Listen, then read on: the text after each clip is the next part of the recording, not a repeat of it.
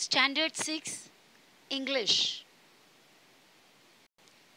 Here we are going to start our lesson 1.4 Children are going to school. It's a beautiful poem written by Nida Fazli. The poem was originally written in Hindi Bache school ja rahe hain and then it is translated into English. Children are going to school. It's a beautiful symbol of a good future, a bright future, because children are going to school for acquiring knowledge to make their future very bright. So, in this occasion, even the natural elements like sun, sky, flowers, etc., etc., are becoming very happy, are happy to see children going to school. So, let's start the poem. Morning light spreads over the earth. Once again, the sky bows his head in respect, for children are going to school. Morning light spreads over the earth. That means it became early morning. The lights, the sun's light spread everywhere on the earth. सभी जगह सूरज का, सूरज की रोशनी सूरज की किरणें फैल गया हुआ है। रोशनी फैला है। दैट मीन्स सुबह हुई है। Once again the sky bows is head in respect और एक बार, और एक बार स्काई बाउस बाउस मीन्स सर झुकाना respectfully in respect means respectfully, the sky bows his head. Why? Because the children are going to school. so the sky is respectfully looking at the children those who are going to school तो यहाँ पर sky को एक human quality दिया है isn't it bowing his head sir झुकाना it's a human quality which is given to sky So here we can say that the sky is personified. Personification. It's a figure of speech. Personification. Let's go to the next stanza. The sun, after his morning dip in the river, dressed up in his golden muslin turban, waits and smiles on one side of the road, for children are going to school the sun after his morning dip in the river here the sun has uh, given the human quality because most of the people in the villages who has uh, who have a who has a, um, river nearby their houses उनके घर के आसपास में river जिनके भी पास हो they early in the morning they have a dip in the river सुबह सुबह उठकर उन लोग जाकर डिप इन द रिवर यानी नदी में एक डुबकी मारते हैं या नदी में नहाकर आते हैं।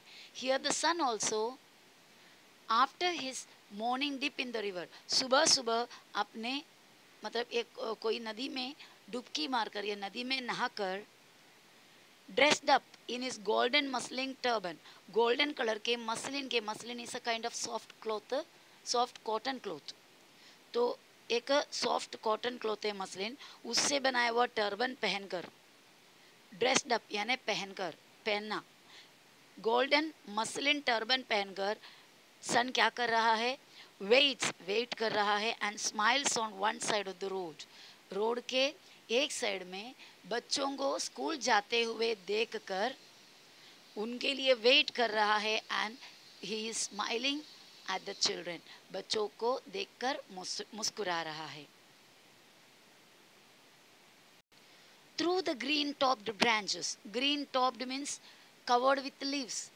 Branches are covered with the leaves उसके अंदर से through the green topped branches means पत्तों से भरे हुए covered branches के अंदर से breezes sing their songs of blessings breeze breeze means light wind हल्का हवा वो हवा ब्रीज क्या कर रहा है सिंग देयर सॉन्ग्स अपना गाना गा रहे हैं ऑफ़ ब्लेसिंग्स किसके ब्लेसिंग्स के means the breeze breezes are blessing the children and they are singing the songs of blessings bless करना यानी आशीर्वाद देना fragrant flowers fragrant fragrant means sweet smell बहुत ही अच्छा खुशबू flowers flowers have beautiful smell awaken the sleepy roads उनका ये स्मेल क्या कर रहा है अवेकन जगा रहा है जागृत कर रहा है द स्लीपी रोड्स रोड सब सोए हुए थे overnight too was sleeping and now the flowers fragrant fragrance came over the road and it awakens the road road को जगा रहा है with the melodies flowers fragrant flowers अपने मेलोडी से मेलोडी मीन्स स्वीट म्यूज़िक से अपने सुंदर गाने से अपने सुंदर सुर से फ्लावर्स क्या कर रहा है फ्लावर्स का फ्रैग्रेंस यानी उसकी खुशबू रोड को जगा रहा है। Next stanza at the corner of the lane lane यानी गलियाँ, गली। At the corner of the lane lane के कोई कॉर्नर पर, कोने में the peepal in its lush deep foliage peepal tree उसके लश लश लश का नॉर्मली मतलब होता है रसीला, पर यहाँ पर लश मतलब एकदम मस्त, सुंदर, बहुत ही ब्राइट डीप फोलिएज डीप मतलब घना, यहाँ पर meaning foliage foliage means the leafy cover green leafy cover झाड़ पर जो पत्तों का बहुत ही घना झुंड होता है, या पत्तों का बहुत ही घने पत्तों का ग्रुप होता है, उसे फोलियोज के फोलिएज कहते हैं। वो फोलिएज से पीपल ट्री क्या कर रहा है? वेव्स इज़ हैंड्स अपने हाथों को वेविंग कर रहा है वेव करना यानी हाथों को हिला रहा है, किसी को स्वागत करने के लिए हाथ हिलाना जैसा, वो it is waving is hands what what hand it has it's his hands are it's a foliage अपना फोलिएज रूप का हाथ को घुमाकर या हिलाकर वो स्वागत कर रहा है बच्चों का या बच्चों को बाय कह रहा है. For children are going to school क्योंकि बच्चे स्कूल जा रहा है। So peepal tree also becomes very happy to see the children going school angels of light have set out. Angels of light from where? From the sun. सूरज उगने पर बहुत सारे लाइट के rays all those rays are described as angels उन light rays को कवि कवयत्री क्या कह रही है हाँ एंजल्स ऑफ़ लाइट है, यानी परियाँ हैं। लाइट के परियाँ निकले हैं every road is a gleam ये परियाँ लाइट के परियाँ निकलने से रोड के हर एक जगह या हर जगह क्या हो गया है?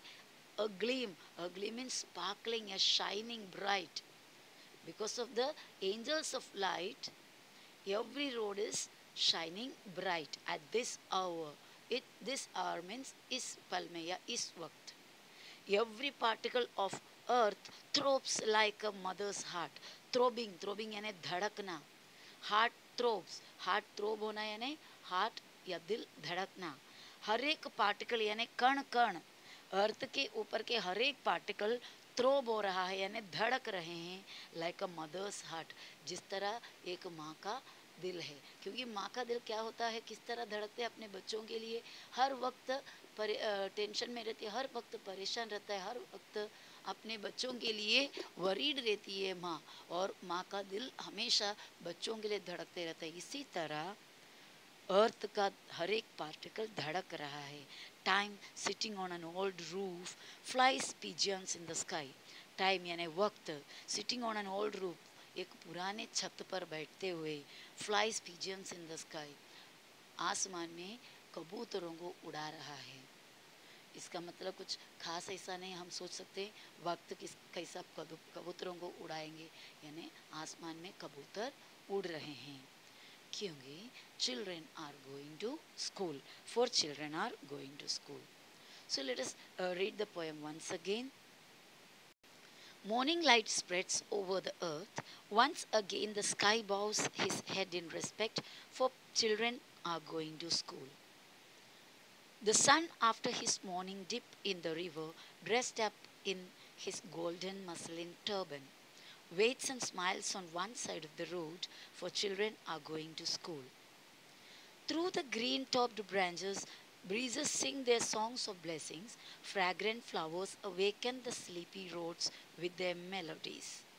At the corner of the lane, the people in his lush, deep foliage waves his hands, for children are going to school. Angels of light have set out, every road is a gleam.